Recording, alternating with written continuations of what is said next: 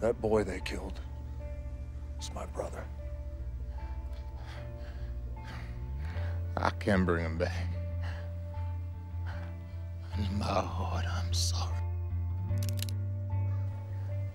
Can you at least find it in your heart to forgive me? I can't. Sorry.